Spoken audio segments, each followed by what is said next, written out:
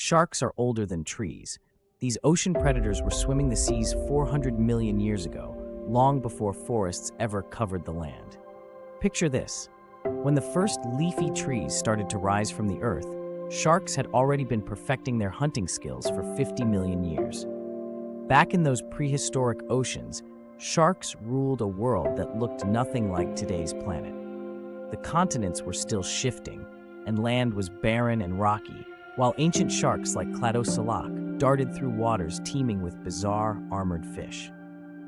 It wasn't until about 360 million years ago that the first real trees, towering fern-like plants, began to appear. By then, sharks had already survived multiple mass extinctions, adapting and evolving while forests were just starting to take root.